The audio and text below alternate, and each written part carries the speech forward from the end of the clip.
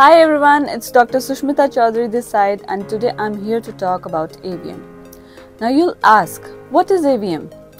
AVM stands for arteriovenous malformation. It is a medical condition characterized by an abnormal tangle of blood vessels in which arteries are connected directly to veins without the usual intervening capillaries. Normally, arteries carry oxygen rich blood away from the heart to the body's tissues and veins return this oxygen depleted blood back to the heart.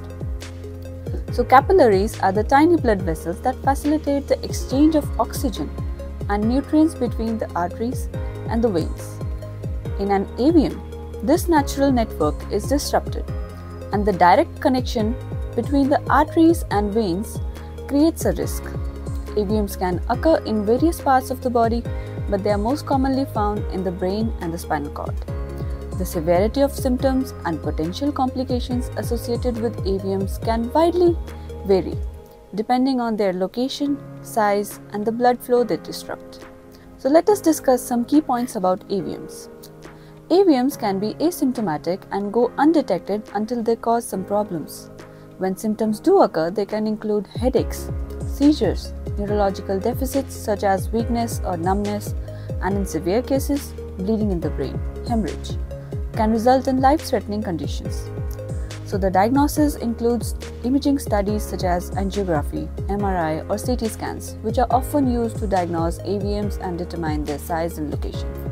Treatment options for AVMs depends on several factors, including the location and the size of the AVM, the severity of the symptoms, and the risk of bleeding.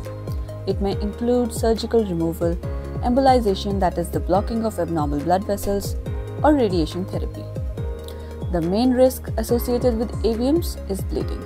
AVMs can rupture and cause a hemorrhage, which can lead to neurological damage and even death. So, the prognosis for individuals with AVMs depends on various factors again, including the promptness of diagnosis and the effectiveness of treatment. Some AVMs can be successfully managed with intervention, while others may require ongoing monitoring.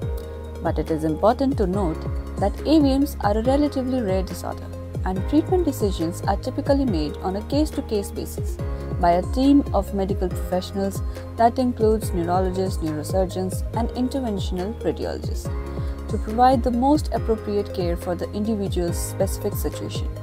Thank you.